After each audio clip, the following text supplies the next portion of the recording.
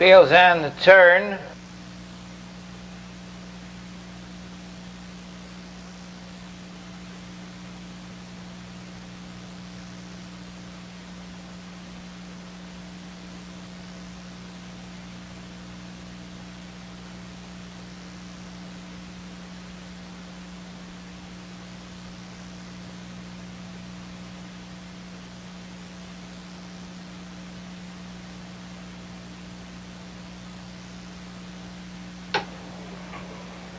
They're off.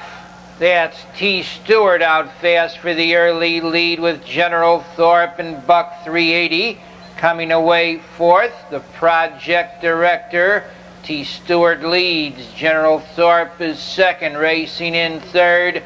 Buck 380, project director fourth. Rush Creek Rick is fifth. Foxy Legacy sixth. Egyptian Cheetah seventh. Free discount in eighth position with Okie Time and Storm and Norm. The quarter 28 seconds. The leader T. Stewart by two racing in second.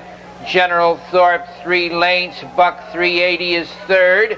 Racing in fourth. Project Director. Rush Creek Rick is fifth.